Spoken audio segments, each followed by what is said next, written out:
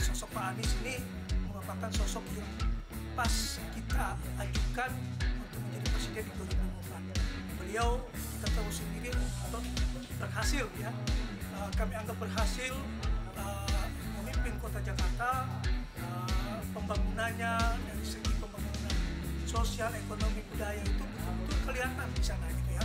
Jadi beliau berhasil mengkolaborasi semua unsur untuk mesejahterakan masyarakat DKI Jakarta apalagi APBD-nya APBD-nya betul-betul dialokasikan hampir 70% 70% kepada masyarakat.